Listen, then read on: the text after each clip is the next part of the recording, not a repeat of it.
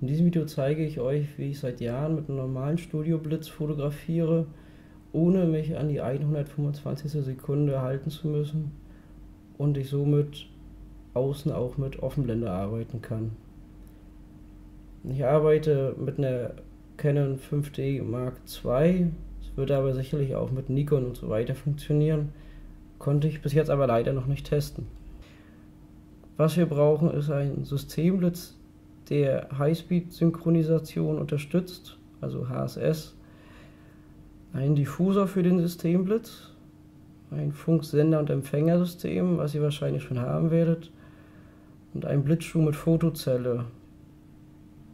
Alles, was ihr tun müsst, ist ein Loch in den Diffusor zu bohren, wo die Fotozelle des Blitzschuhs durchpasst und ähm, das Ganze zu verkleben.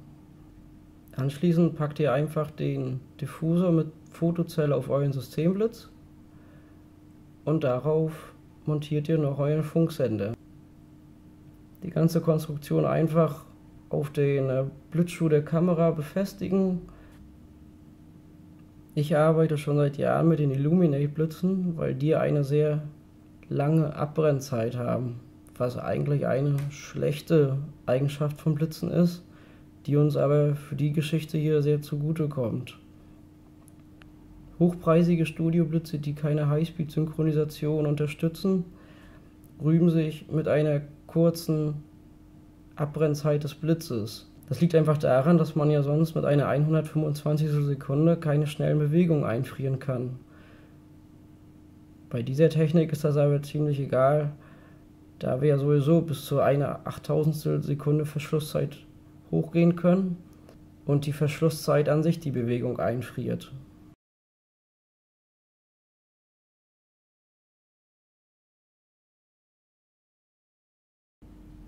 Ich nutze manuelle Leistung, weil es ja nur darum geht, die Fotozelle auszulösen. Je nachdem, wie viel Licht durch den Diffusor auf die Fotozelle ähm, ohnehin schon durch das Tageslicht fällt, müsst ihr die Blitzleistung höher oder runterschrauben oder ihr lackiert oder dunkelt anderweitig den Diffusor einfach ab.